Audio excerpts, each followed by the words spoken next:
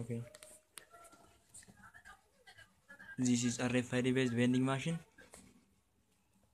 which is used to deliver the product to the customers.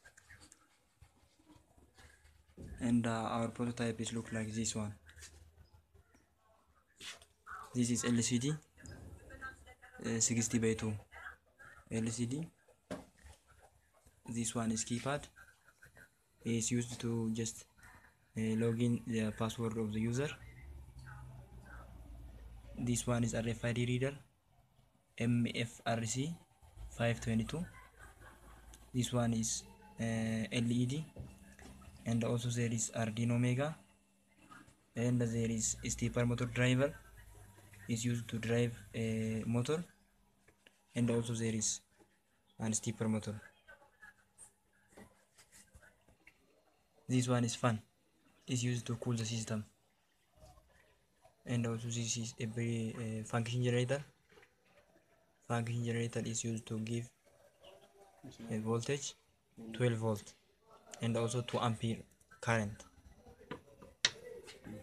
The item are put as such. This is stepper motor. Stepper motor is giving to just give a product to the customers and also this is also an stepper motor. First let's scan RFID scan it.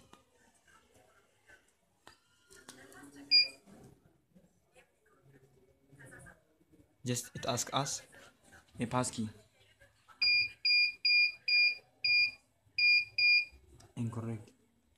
Oh, passkey accepted. Yeah, user 2 credit is 40 birr just you can access because uh, balance is sufficient.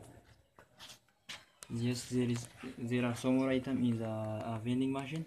From those we can select either pepsi coca or fanta based on our interest. For that we use push button. Let you press that. Just press